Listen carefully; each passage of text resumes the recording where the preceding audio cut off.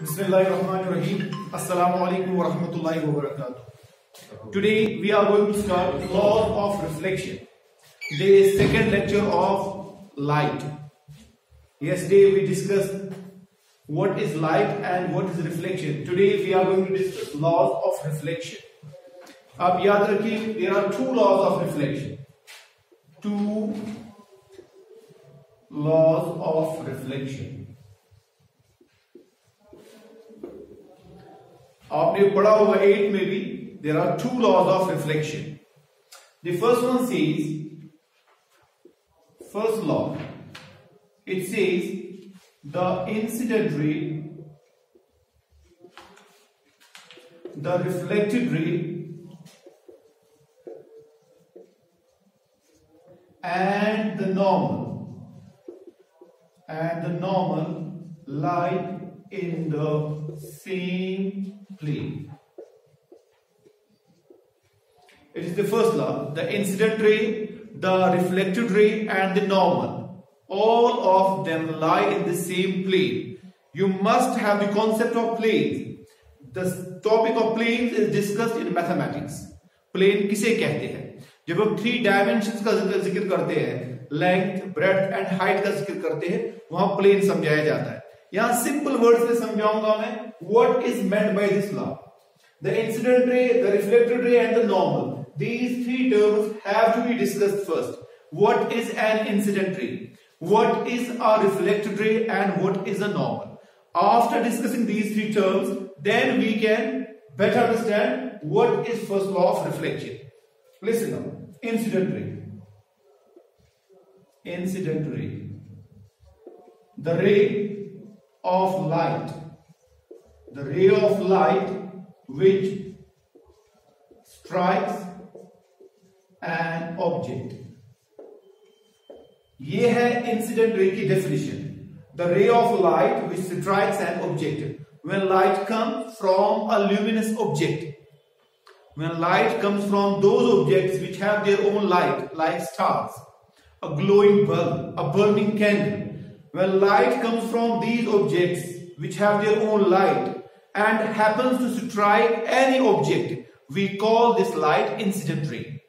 Light coming from sun striking stones, incident ray. Light coming from glowing bulb and striking the walls of a room, incident ray. The light coming from a burning candle and striking a human being, incident ray.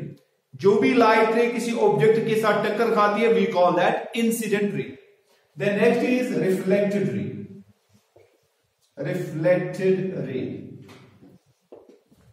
The light ray reflected by an object. The light ray reflected by an object.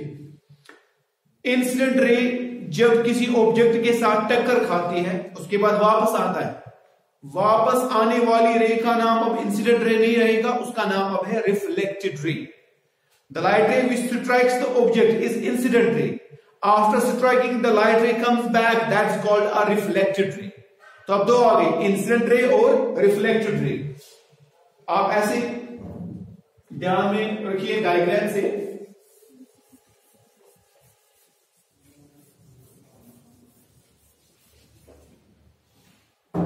If there is a mirror को हम ऐसे बनाते हैं। A straight line फिर यहाँ से हम इसको ऐसे डॉट बनाते हैं। This is how to represent a mirror ये एक मिरर है। Let this is a ray ray of light striking the mirror ये है रे ऑफ़ लाइट स्ट्राइक कर रही है मिरर को। This light ray will be called incident ray incident ray after striking the mirror it has to come back ये वापस आ रही है। ये वापस आने वाली ray we call it reflected ray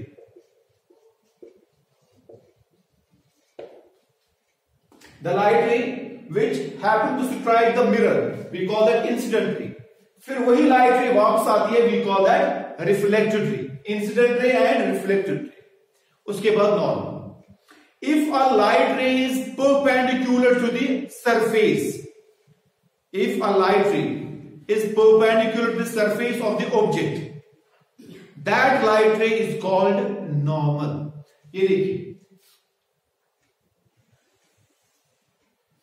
ये मान लीजिए this light ray it is perpendicular to the mirror to the surface of the mirror this will be called normal normal की खुसूसियत है इट रिट्रीव इट्स पाथ ये जिस रास्ते से आती है उसी रास्ते से ये वापस भी जाती है।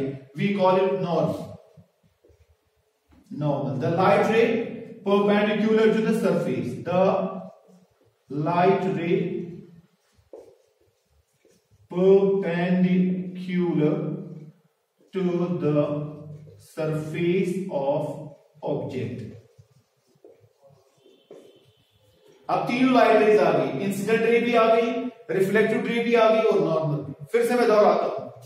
Incident ray the light ray which happen to strike an object reflected ray the light ray reflected by the object normal the incident ray which is perpendicular to the surface of the object and it retrieves its path after reflection after reflection it does not change its path it retrieves it retraces its path law क्या कहता है? This incident ray this normal and reflected ray all of them lie in the same plane ये जो भी mirror है, इसी से incident रे टकरा, टकराई। इसी से रिफ्लेक्टेड रे वापस आई। इसी पे नॉर्मल पड़ा और नॉर्मल वापस भी आया। एक ही प्लेन में ये सारा हुआ। It is called first law of reflection on the same plane, we find incident ray, we find reflected ray, and we find normal. This first law. Second law of reflection. What does that state? Second law. Second law says the angle made by incident ray and normal. The angle between incident ray and normal. That is called incident angle or angle of incidence. Angle of incidence. Angle of incidence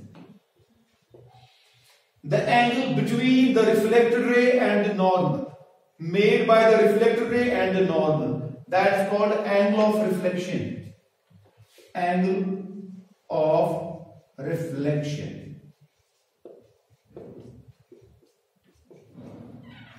ये दो angles है angle of incidence and angle of reflection incident angle and the reflected angle incident angle the angle between incident ray and the normal Reflected angle or angle of reflection angle between the reflected ray and the normal second law says these two angles are always equal it states angle i is always equal to angle r ये दो law पहले law ने क्या कहा था incident ray reflected ray and normal lie in the same plane दूसरे ने कहा था angle i equal to angle r angle of incidence is always equal to angle of reflection Angle of incidence, the angle between incident ray and the normal. Angle of reflection means angle between reflected ray and the normal. They are always equal. If angle I is 45 degree, angle R will be 45 degree. If angle I is 60 degree, angle R will be 60 degree. If angle I is 30 degree, angle R will be 30 degree. ये आपको lab में भी ये सारे ये दो laws prove करवाए जाते हैं ये आपके एक्सपेरिमेंट्स में भी है Agra विटनम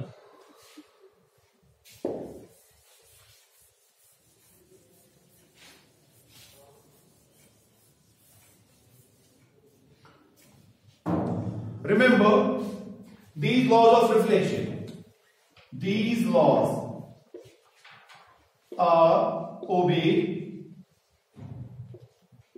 by both regular reflection, regular reflection as well as diffuse reflection. These laws, these two laws whether reflection is regular or diffuse. These laws have to be obeyed. They have to be obeyed. Irrespective of what type of reflection is taking place, these two laws are to be obeyed. Got it? Sure, diagram it off.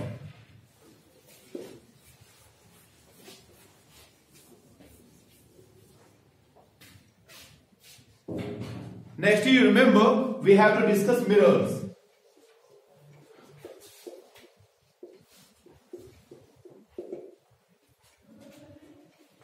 For reflection, we have to discuss mirrors and for refraction we have to discuss lenses. What is a mirror? Remember we take a piece of transparent glass, a piece of transparent glass and we coat it with a metal. It's one of its surfaces coated with metal whose surface is coated with metal. We take a transparent piece of glass and one of its surface is coated with a metal. ठीक है? एक शीशा लिया हमने transparent शीशा। एक side से हमने उसे मेटल कोटिंग की मेटल कोटिंग की। मेटल कोटिंग इसलिए करते हैं? रिफ्लेक्शन रिफ्लेक्शन के लिए। Reflection of light takes place due to metal. Transparent glass में होता क्या है? रिफ्रैक्शन लाइट आर पार चली जाती है रिफ्लेक्शन नहीं होती। रिफ्लेक्शन होनी चाहिए। उसके लिए हम उसे कोट करते हैं विद मेटल मेटल कोटिंग की वजह से अब लाइट रिफ्लेक्ट होकर वापस आ जाएगी। जैसे ही आपने ट्रांसपेरेंट गिलास के एक साइड से मेटल कोटिंग की Now it is not a piece of glass, it is a mirror now. इससे पहले ये शीशा था अब ये आईना बन गया। मिरर आईना जिसमें अक्स बंदी होती है जिसमें हम अपनी इमेज को देख पाते हैं। अगर सामने ट्रांसपेरेंट गिलास हो हम उसके सामने खड़े रहेंगे। Our image will not be formed on this transparent of glass because वहाँ रिफ्रैक्शन ऑफ़ लाइट होती है। बाद में इसी ट्रांसपेरेंट ग्लास को एक साइड से हमने मेटल कोटिंग की। मेटल का जो है ना, हमने लेयर चढ़ा दी। अब ये आईना बन जाएगा। रिफ्लेक्शन ऑफ़ लाइट होगी। हमारी तस्वीर भी उसमें दिखे। हमारी, हमारा अक्स उसमें दिखेगा। So reflection of light takes place due to metal अच्छा। मेटल्स में सबसे अच्छा मेटल कौन माना जाता है? रिफ्लेक्शन के हिसाब से। The metal which is the best reflector of light कौन है? Remember it is the silver silver metal is the best reflector of light. Among metals, the best reflector of light is silver. इसलिए जो कीमती आईने होते हैं costly mirrors जो होते हैं उनमें आप देखेंगे सिल्वर मेटल की कोटिंग की होती है to make them best reflector of light or to make them best mirrors. So a mirror is simply a transparent, piece of glass whose one side is coated with silver metal. Next you remember these mirrors they are of two types.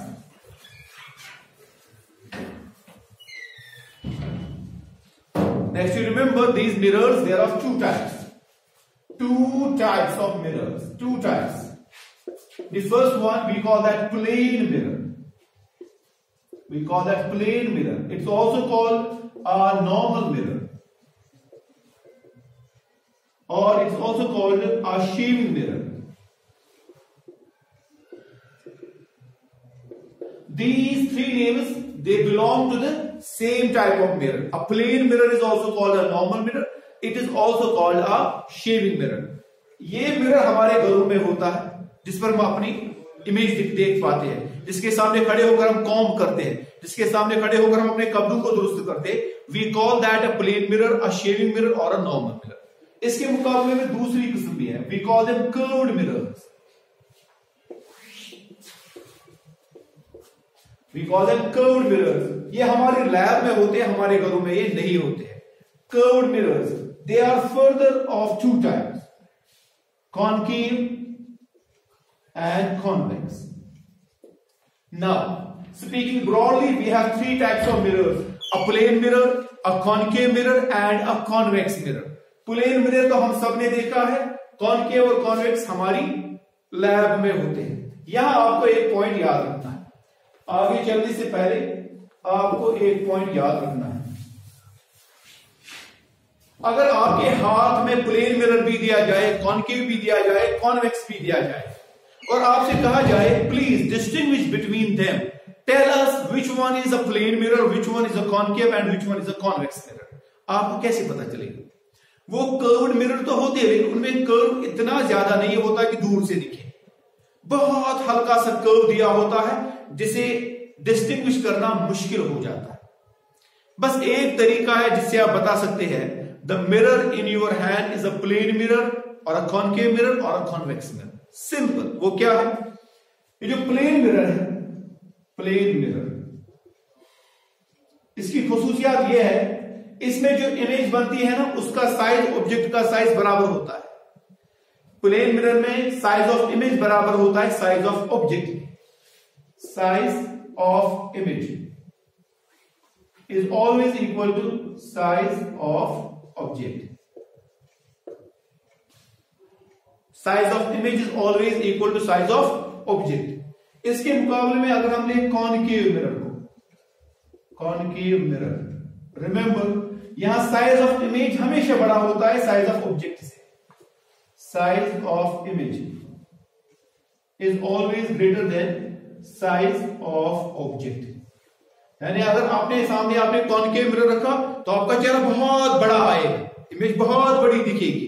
पता चलेगा ये concave mirror है। इसके मुकाबले में if you have convex mirror remember here size of image is always shorter than the size of object अगर आप convex mirror को हाथ में लेंगे, आपका पूरा चेहरा उसमें दिखेगा। पूरा चेहरा, क्योंकि वो इमेज छोटी बनाता है। अब याद रखिए, जो हमारी गाड़ियों में मिरर्स लगे होते हैं, जिन पर हम देखते हैं हमारे पीछे क्या गाड़ियाँ आ रही है, वो छोटा सा मिरर हमें पूरा रोड दिखाता है। रोड पे चलने वाली सैकड़ों गाड़ियाँ उसमें नज़र आती है। भाई, इतनी बड़ी ट्रक इतनी बड़ी बस इतने छोटे से शीशे में कैसे आ गई? It is a convex mirror और ये इसकी प्रॉपर्टी है, ये इमेज छोटी बनाता है। ऑब्जेक्ट खुद बड़ा है, लेकिन इमेज उसकी छोटी। ये है वो तरीका जिससे हमें पता चलेगा which one is concave mirror which one is convex mirror and which one is a plane mirror तो पता चला प्लेन मिरर में size of image is always equal to size of object concave mirror में size of image is always bigger than the size of object and in case of convex mirror size of image is always smaller than the size of object अब concave और convex mirror को हमें define करना है। देखिए। Concave है?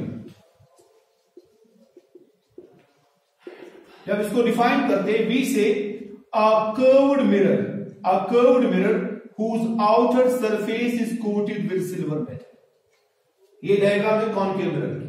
A curved mirror a type of curve mirror whose outer surface is coated with a metal ये है। कॉन्केव मिरर की डेफिनेशन डायग्राम आप याद रखिएगा। डायग्राम ज़्यादा इंपॉर्टेंट है। A type of curved mirror whose outer surface is coated with a metal ये outer surface ऐसे हमने कोट की विद मेटल ये जो इनर सरफेस है it is called reflecting surface ये अंदर वाली सरफेस है रिफ्लेक्टिंग सरफेस तो याद रखा कॉन्केव मिरर में क्या होता है?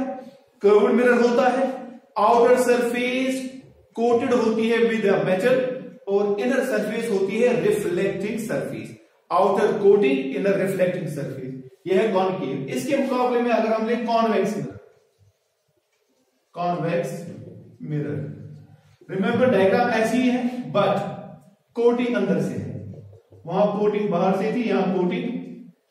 So we can define it a type of curve mirror whose inner surface is coated with a metal a type of a curve mirror whose in surface is coated with a metal. यह ऐसे होता है। यहाँ outer surface को coat किया जाता है, यहाँ इनर सरफेस को कोट किया जाता है। यहाँ इनर सरफेस है रिफ्लेक्टिंग सरफेस वहाँ आउटर सरफेस है रिफ्लेक्टिंग सरफेस सो ये हो गए हमारे three types of mirrors a plane mirror a concave mirror and a convex mirror इसी के साथ हमारा आज का लेक्चर खत्म होता है। स्टेबलाइज फियामानिल्लाह अस्सलाम वालेकुम वरहमतुल्लाहि वबरकातुहू